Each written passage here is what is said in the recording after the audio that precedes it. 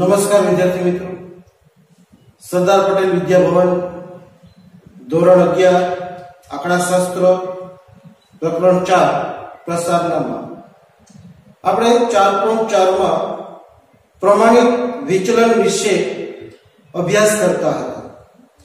જે દાખલો આપણે ગણ્યો અને તમને હોમવર્કમાં ગણવા માટે આપ્યો, એ અસતત શ્રેણી અવર્ગીકૃત હોય. એટલે કે જ્યારે આપણને માહિતીમાં આવૃત્તિ ન આપેલી હોય, ત્યારે x માઇનસ એક્સ બારના સ્ક્વેર ભાગ્યા એલ અને એનું વર્ગમૂળ એટલે પ્રમાણિત વિચલન મળે. પરંતુ જો આવૃત્તિ આપેલી હોય, એટલે કે વર્ગીકૃત શ્રેણી હોય, તો આપણી ગણતરી થોડી અલગ બનશે. એના માટે સૌથી પહેલા ચાર પોઈન્ટ ચાર ના ત્રીજા દાખલાની આપણે રકમનો અભ્યાસ કરીએ. આપણને એવું કીધું છે, નીચેની માહિતી પરથી પ્રમાણિત વિચલનાંક મેળવો. હવે પ્રમાણિત વિચલનાંક પ્રમાણિત વિચલનાંકનું સૂત્ર છે. પ્રમાણિત વિચલનાંક બરાબર s x બાર. અને તમારે s એટલે પ્રમાણિત વિચલન શોધવું પડે અને x બાર એટલે મધ્યક શોધવું પડે. આના માટે બે કોલમ આપી છે. થાપણની રકમ જેને આપણે x કહીશું અને થાપણદારની સંખ્યા જેને આપણે f એટલે કે આવૃત્તિ કહીશું x એ પ્રાપ્તાત્મક છે, અવલોકન છે અને f એ આવૃત્તિ છે. પાંચ, દસ, પંદર, વીસ, પચીસ, ત્રીસ, પાંત્રીસ. આમ તો ક્રમિક અંતરનો તફાવત છે. અને તમે એને ભાગી પણ શકો. પણ એક જ દાખલો છે એટલે આપણે ટૂંકી રીતનો ઉપયોગ કરશું અને એને ભાગવાના બદલે બાદ કરશું. જ્યારે સતત શ્રેણી હશે, ત્યારે આપણે વર્ગલંબાઈ વડે ભાગી એને વધારે ટૂંકું કરશું.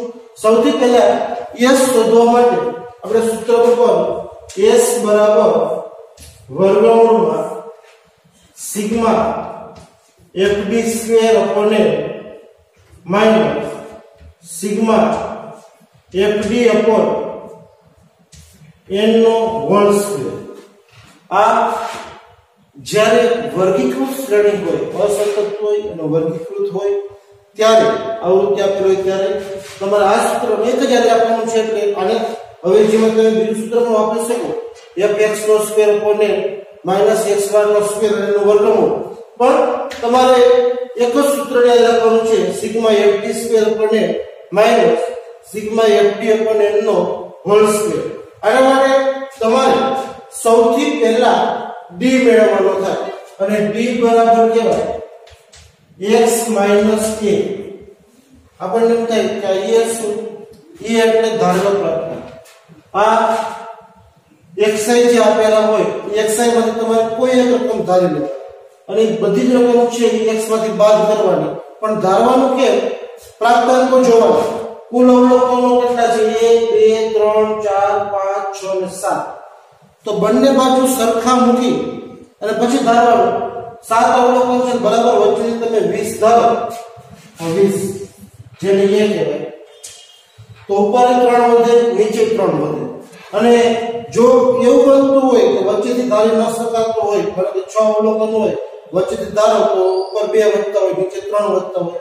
એ સંજોગોમાં ઉપરથી ધારો, નીચેથી ક્યારેક ન ધારો. જેથી કરીને તમારો ડી છે એ ખૂબ માઇનસમાં ન આવે ઓકે અહીં આપણે 20 ધારશું એનો મતલબ એવો થાય કે આપણે x માંથી 20 બાદ કરશું આ 5 છે આપણો x એમાંથી 20 બાદ કરીએ તો માઇનસ 15 વધે 5 માંથી 20 જાય તો વધે માઇનસ 15 પછી બીજો x આપણો 10 છે 10 માંથી 20 બાદ કરીએ તો માઇનસ 10 વધે પછી 15 છે 15 માંથી 20 બાદ કરીએ તો માઇનસ 5 20 માંથી 20 જાય તો 0 25 માંથી 20 જાય તો 5 વધે 30 માંથી 20 જાય તો 10 વધે અને 35 માંથી 20 જાય તો 15 વધે આ આપણને d ની કોલમ મળી આનો સરવાળો કરીએ એટલે આપણને સિગ્મા d મળે. પણ આપણે સિગ્મા d ની સૂત્રમાં કોઈ જરૂર નથી. સૂત્રમાં આપણે જરૂર છે fd² અને સિગ્મા fd તો આપણે f અને d નો પેલા ગુણાકાર કરશું. આ f અને d એટલે પંદર દુ ત્રીસ પણ પ્લસ માઇનસ છે, તો માઇનસ થાય. સાત દળ સિત્તેર પ્લસ માઇનસ માઇનસ થાય. અગિયાર પંચા પંચાવન, માઇનસ થાય. પંદર ગુણ્યા જીરો, કોઈ પણ રકમ જીરો સાથે ગુણે, તો એ જીરો થાય. દસ પંચા પચાસ, દસ ચોક ચાલીસ. અને પંદર એકા પંદર. અહીંયા માઇનસ વાળા સો અને એકસો પંચાવન છે અને પ્લસ વાળા છે નેવું ને પંદર, એકસો પાંચ. એકસો પાંચ પ્લસ છે, માઇનસ વાળા એકસો પંચાવન છે, તો આપણો સિગ્મા એફડી આવે માઇનસ પચાસ. જે નિશાની, જે રકમ મોટી હોય એની નિશાની રાખવાની, નિશાની માઇનસ એકસો પંચાવન, મોટા છે. તો જવાબ આપણો પંચાવનમાંથી પાંચ જાય પચાસ વધે પણ એ વધશે માઇનસ સૂત્ર માટે હજી જરૂર છે આપણે એફડી સ્ક્વેર તો એફડી સ્ક્વેર ના એફડી નો વર્ગ નહીં કરવાનો ખાસ જ રાખજો એફડી સ્ક્વેરમાં તમારે એફડી નો વર્ગ નથી કરવાનો એફડી સ્ક્વેર એટલે એફડી ગુણ્યા ડી આ બે સંબંધ ગુણાકાર ડી ગુણ્યા ડી એફડી ગુણ્યા ડી એટલે એફડી સ્ક્વેર થાય 15 તેરી 45 માઇનસ માઇનસ પ્લસ થઈ ગઈ 450 સિત્તેર ગુણ્યા દસ એટલે સાતસો પંચાવન ગુણ્યા પાંચ પચાસ ગુણ્યા પાંચ કરો બસો પચાસ થાય અને પચીસ બીજા બસો પંચોતેર જીરો પચાસ ગુણ્યા પાંચ એટલે બસો પચાસ ચાલીસ ગુણ્યા દસ એટલે ચારસો અને પંદર ગુણ્યા પંદર એટલે બસો ને પચીસ આનો સરવાળો કરો એટલે સિગ્મા એફ ડી સ્ક્વેર આખો તમે સરવાળો કરો તો આખો સરવાળો સિગ્મા એક ડી સ્ક્વેર કહેવાય અને ઈ થશે 2300 આ બંને રકમ એક ડી અને એક ડી સ્ક્વેર આ બંને રકમો છે એ સૂત્રમાં લાવી તો s બરાબર વર્ગમૂળમાં સિગ્મા એફ ડી સ્ક્વેર એટલે 2300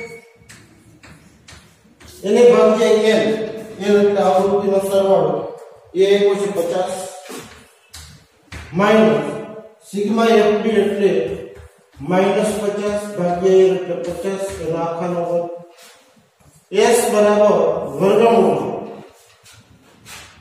ત્રેવીસો ભાગ્યા પચાસ તમે જીરો જીરો ઉડાડી દો ઉપર નીચે તો બસો ત્રીસ ભાગ્યા પચાસ કરો એટલે છેતાલીસ થાય. માઇનસ. માઇનસ પચાસ ભાગ્યા પચાસ એટલે માઇનસ એક. કિલો એસ બરાબર છેતાલીસ માઇનસ. માઇનસ એક નો વર્ગ એક થઈ જાય, પ્લસ એક થઈ જાય. એટલે છેતાલીસમાંથી એક જાય પિસ્તાલીસ વધે. વર્ગમૂળમાં પિસ્તાલીસ. અને પિસ્તાલીસનું તમે વર્ગમૂળ કાઢો પિસ્તાલીસનું તમે વર્ગમૂળ કાઢો, તો એ થાય છ પોઈન્ટ એકોતેર તમારો એસ આવશે છ. પોઈન્ટ એકોતેર હજુ તમારે જરૂર છે એક્સ બારની એફઆઈડી એવડી રીત છે એક્સ બાર બરાબર e પ્લસ સિગ્મા a અહીંયા આપણે એફડી લીધું છે, તો એફઆઈડી એ આપણે. એટલે fd અપોન x બાર બરાબર e એટલે 20 ધરેલા છે. પ્લસ માઇનસ 50 ભાગ્યા 50 fd આપણો માઇનસ 50 આવ્યો છે. તો x બાર બરાબર 20 પ્લસ માઇનસ માઇનસ થાય 50 ભાગ્યા 50 એટલે 1 થાય તો x બાર બરાબર આપણા 19 આવશે આ બંને રકમ પ્રમાણિત વિચલનના સૂત્રમાં મૂકો 6.71 ભાગ્યા x બાર એટલે 19 તમારો જવાબ થાય 0.35 આ તમારો પ્રમાણિત વિચલનાંક મળશે ફરી એકવાર જ્યારે અસતત શ્રેણી વર્ગીકૃત આપી હોય ત્યારે સૌથી પહેલા તમારે વચ્ચેથી, તો કોઈ પણ આંકડો એ તરીકે ધારવાનો, x માંથી તમે એ બાદ કરો, એટલે તમને એક કોલમ મળશે, જેને d કહેવાય. એ d નો f ને ગુણાકાર કરો, એટલે એક કોલમ મળે. એફ ડી એનો સરવાળો કરો, એટલે સિગ્મા એફ d મળે. F ડી નો d સાથે ગુણાકાર કરો, એટલે ડી સ્ક્વેર મળે. એનો સરવાળો કરો, એટલે સિગ્મા ડી સ્ક્વેર મળશે. ત્યાર પછી પ્રમાણિત વિચલન શોધવાના સૂત્રમાં તમે આ કિંમતો મૂકો એટલે તમને પ્રમાણિત વિચલન મળશે, જે છે 6.71 એને ભાગ્યા તમે x બાર મૂકી દેશો તો તમને પ્રમાણિત વિચલનાંક મળશે. ત્યાર પછી આપણે ચોથો દાખલાનો અભ્યાસ કરીએ. અલગ લો પછીનો ચોથો દાખલો આપણો છે નીચેની માહિતી પરથી પ્રમાણિત વિચલન શોધો. બે કોલમ આપ્યું છે xi અને fi 0 થી 10 10 થી વીસ વીસથી 30 30 થી 40 40 થી પચાસ. એફઆઈ છે સાત, છ, પંદર, બાર અને દસ, કુલ 50 જ્યારે સતત શ્રેણી આપેલી હોય માત્ર પ્રમાણિત વિચલન શોધવાનું હોય તો સૌથી પહેલા સૂત્ર મૂકો એસ બરાબર વર્ગમૂળમાં sigma fd square upon n minus sigma upon n નો હોલ સ્ક્વેર અને જો સતત શ્રેણી હોય તો ગુણ્યા સી વર્ગ લંબાઈ કરવાની કારણ કે આપણે ડી મેળવતા મેળવતી વખતે સી વડે ભાગશું તો સાચો માપ શોધતી વખતે છેલ્લે સી વડે ગુણવાનું આપણે ડી નું સૂત્ર મૂકીએ. ડીઆઈ બરાબર xi minus A upon C પણ એના માટે તમારે xi તરીકે જ્યારે વર્ગો આપ્યો હોય ત્યારે મધ્ય કિંમતો લેવાની. તો મધ્ય કિંમત આપણે લઈએ. જીરો થી દસની મધ્ય કિંમત 5 બધામાં દસ દસ નો તફાવત છે. તો 15 25 35 અને 45 મધ્ય કિંમતો છે. એ આપણે 5 15 25 35 અને 45 આવશે. કુલ પાંચ અવલોકનો છે. તો બંને બાજુ બબે છોડી દઈ તો વચ્ચેના જે 25 છે, એને આપણે એ તરીકે ધારશું. એટલે અહીંયા એક્સ આઈ માઇનસ પચીસ અને વર્ગ લંબાઈ 10 ની છે. તો ભાગ્યા 10 કરશું. હવે 5 માંથી 25 જાય, તો માઇનસ વીસ વધે ભાગ્યા દસ કરો તો માઇનસ બે. પંદરમાંથી 25 જાય, તો માઇનસ દસ વધે અને ભાગ્યા દસ કરો તો માઇનસ 1 25 માંથી 25 એટલે 0 35 માંથી 25 બાદ કરો તો દસ વધે. ભાગ્યા દસ કરો એટલે એક થાય. અને 45 માંથી 25 બાદ કરો તો વીસ વધે. અને ભાગ્યા દસ કરો તો બે થાય. ઇનફેક્ટ જ્યારે વર્ગ સમાન હોય, ત્યારે જે ધાર્યું હોય એની સામે 0 આવે. ઉપરની રકમ -1 2 3 4 નીચેની રકમ +1 2 3 4 આ તમારું ડી આઈ પછી તમારે એફઆઈ એટલે કે f અને d નો ગુણાકાર કરવાનો. એની કોલમ તમારી f ડી બનશે.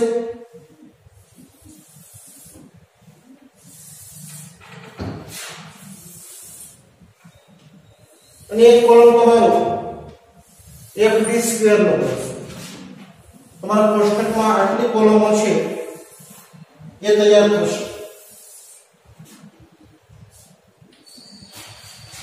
એફડી અહીંયા અને ડી નો ગુણાકાર કરો, તો 7 દુ 14 પ્લસ માઇનસ માઇનસ 6 એકા 6 0 આરે ગુણ્યા એટલે 0 12 એકા 12 અને 10 દુ 20 આ બેનો સરવાળો કરી પ્લસ માઇનસ કરી નાખો. તો ચૌદ ને 6 20 છે 20 20 જાય તો f સિગ્મા d છે 12 વધશે f d સ્ક્વેર કરો. F d ગુણ્યા d કરો. આ તમારો આ તમારો d છે, d. 14 તો 28 પણ માઇનસ માઇનસ પ્લસ થાય. 6 એકા 6 0 12 એકા બાર, અને વીસ દુ 40 આનો કુલ સરવાળો કરો.